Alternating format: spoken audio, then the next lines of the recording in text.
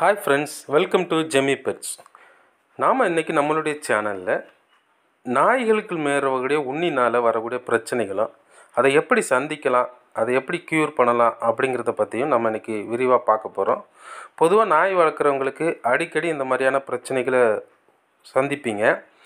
இது நாய்க்கு இருக்கிறதுனால நாய்க்கு இன்ஜெக்ஷனோ அல்லது மெடிசனோ கொடுத்து க்யூர் பண்ணிக்கலாம். ஆனால் அதை தாண்டி இந்த உண்ணிங்க வந்து வீடுகளில் பரவி சுவர்களில் உட்காந்துக்கிட்டு வீட்டில் இருக்கிறவங்களுக்கு ரொம்ப தொல்லை கொடுக்கும்.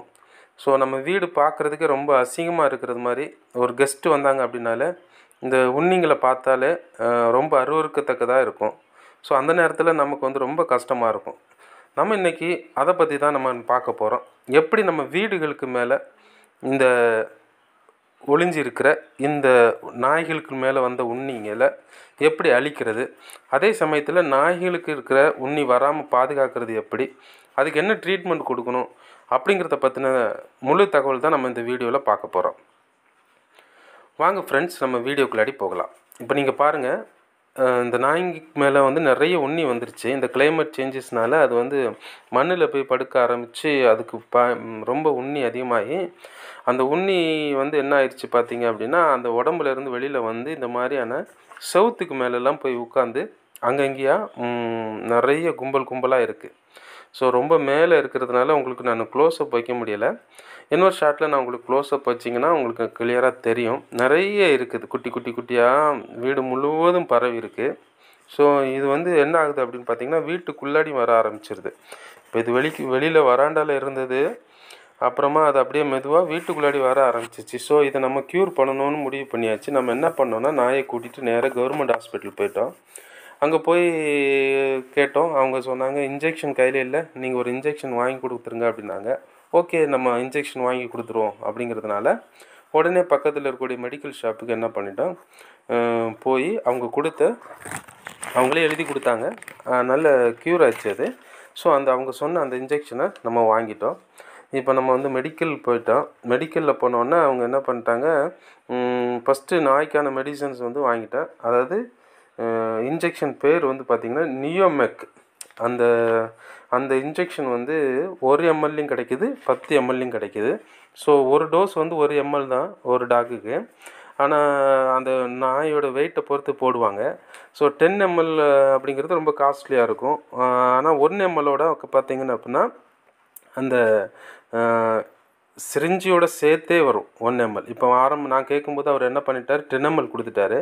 திரும்ப டென் எம்எல் வேணாம் சார் எனக்கு ஒ- ஒரு எம்எல்ஏ கொடுங்க அப்படின்னு சொன்னதும் திரும்ப போய் எடுத்துகிட்டு வராரு. ஸோ ஒன் எம்எல் என்ன பார்த்தீங்கன்னா ரேட்டும் கம்மி. அதே சமயத்தில் இன்ஜெக்ஷனோட கிடைக்கும். நம்ம வந்து அந்த இதோட கிடைக்கும் ஸ்ட்ரிஞ்சோட கிடைக்கும். ஸோ அவர் ஓப்பன் பண்ணி காமிக்கிறாரு. ஸ்ட்ரிஞ்சோடே இருக்குது. ஸோ நம்ம இதை எடுத்துகிட்டு போயிட்டு ஹாஸ்பிட்டல்லே கொடுத்துட்றோம். ஏன்னா இன்ஜெக்ஷன் போட நம்ம போடாமல் இந்த மாதிரியான வெட்டினரி ஹாஸ்பிட்டலில் கொண்டு கொடுத்தீங்க அப்படின்னா அவங்க வந்து போடுறது தான் பெஸ்ட்டு ஸோ நம்மளே தெரிஞ்சிட்ட மாதிரி போட்டுட்டு நாளைக்கு வந்து டாக்டருக்கு எதுவும் ப்ராப்ளம் வரக்கூடாது. ஸோ நான் மெடிசன் வாங்கிட்டேன். இப்போ திரும்ப நான் வந்து மெடிசன் எடுத்துகிட்டு ஹாஸ்பிட்டல் போகிறேன் ஸோ ஹாஸ்பிட்டலில் போயிட்டு ஹாஸ்பிட்டலில் வரேன். அது வரைக்கும் வந்து நம்ம டாக் வந்து அங்கே எனக்காக வெயிட்டிங் ஸோ இப்போ வந்து அவர்கிட்ட கொடுத்துட்ட இன்ஜெக்ஷனை அவர் என்ன பண்ணுறாரு அந்த இன்ஜெக்ஷனை எடுத்துகிட்டு டாக்கு போட போகிறாரு ஸோ இப்போ பாருங்கள் டாக்கு போடுவார். முதுகு பக்கத்தில் அது வந்து போடுவார். ஸோ இது போட்டு ஒரு ஒன் வீக் அதிகபட்சமாக த்ரீ ஃபோர் டேஸில் உடம்புல இருக்கிற உண்ணியெல்லாம் என்ன ஆயிடுச்சு? கொஞ்சம் நிறைய வெளியில் வர ஆரம்பிச்சிருச்சு. ஸோ இதுதான் நான் உங்கள்கிட்ட இது வந்து என்னென்னு பார்த்தீங்கன்னா நம்ம வீட்டுக்கு சவுத்தில் இருக்கக்கூடிய உண்ணிகளை கொல்லக்கூடிய ஒரு மெடிசன் இதுக்கு பேர் வந்து அமிட்ரஸ் அப்படிங்கிற ஒரு ஐபி லிக்யூட் அதாவது இது வந்து பார்த்தீங்க அப்படின்னா வாட்டரில் வந்து கலந்து நம்ம வந்து ஸ்ப்ரே பண்ணணும். ஸோ எங்கெல்லாம் செவுத்துலலாம் எங்கெல்லாம் இருக்கோ இப்போ நான் வாங்கியிருக்கிற கம்பெனி வந்து இது இது மட்டும் இல்லை நிறைய கம்பெனிஸ் இதுலேயே வருது.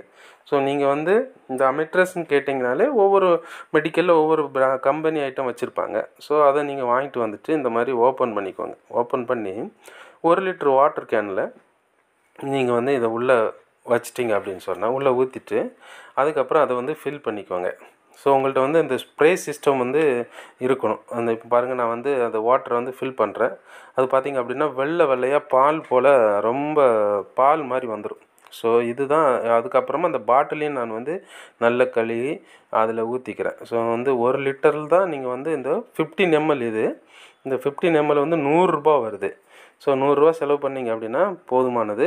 ஸோ ஒரு லிட்ரு எடுத்து நான் வந்து நல்லா கலக்கிட்டு அதுக்கப்புறமா அந்த ஸ்ப்ரே இருக்குது பாருங்கள் இப்போ நான் பக்கத்தில் காமிக்கிற ஃபோட்டோவில் இருக்கிறதெல்லாம் இது சார்ந்த மெடிசன் தான். இது ஒவ்வொரு கம்பெனி டிஃப்ரெண்ட் கம்பெனி உங்களுக்கு எது கிடைச்சாலும் பரவாயில்ல நீங்கள் தாராளமாக வாங்கிக்கலாம். இப்போ நான் ஸ்ப்ரே பண்ணி காமிச்சது போல்.